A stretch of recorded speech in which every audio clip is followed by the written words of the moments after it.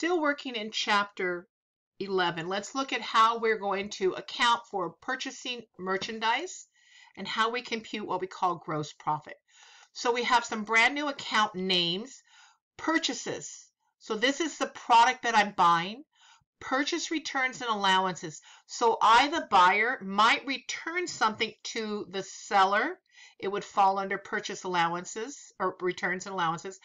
Purchase discounts. So when the seller offers me 2% 10 net 30 and I take it, that would be a purchase discount. And finally, freight in. So think about this. I am the buyer. I buy from the seller. When the seller ships to me, I have to pay freight. Consider that freight in to me. That becomes part of the cost of the purchase. So here are my new accounts and how they're categorized. So just like in chapter 10, my purchase returns and allowances and my purchase discounts are actually attached to my purchase accounts. So my purchase mm-hmm. accounts are debited, normal balance is debit, my returns and allowances and my discounts, normal balance are credit, and freight enters debited. So when I talk about what is the actual cost of my product, it's this minus this plus freight. Okay, this is called the cost of my merchandise purchase. And let's take a look. Here we go. I made a $100 purchase for cash. And if I do it with cash, I'm going to debit the purchases. By the way, purchases are an asset, things I own, and I will credit cash because I spent money. However, if I made it on account, here's what it looks like. I'm going to debit purchases and I'm going to credit accounts payable. And notice we're going to have accounts payable slash and the vendor name because just like chapter 10, I'm going to have an accounts payable subsidiary that will keep track of all of my vendors so I don't get confused.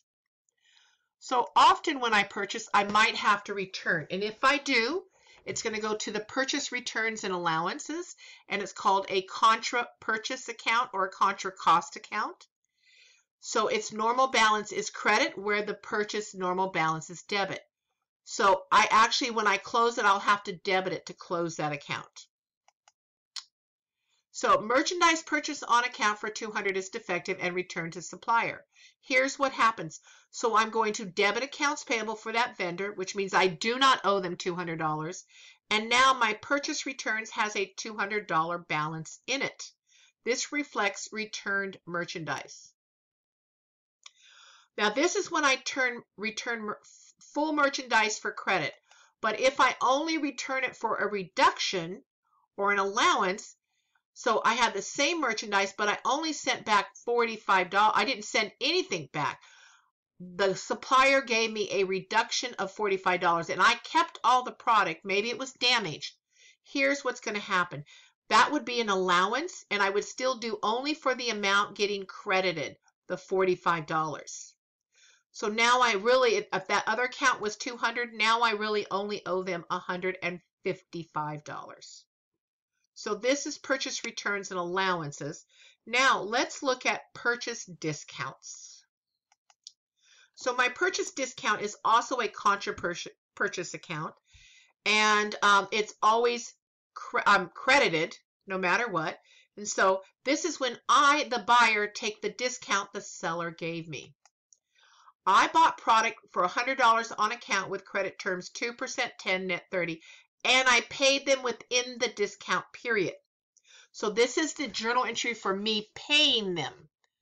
So I sent them only $98 cash, but I'm going to debit accounts payable for 100 because I do not owe them any more money. And I'm going to have a credit of $2 in my purchase discount. So this explains purchase returns and allowances and purchase discounts. And this is video number two. So the next one we'll talk about freight.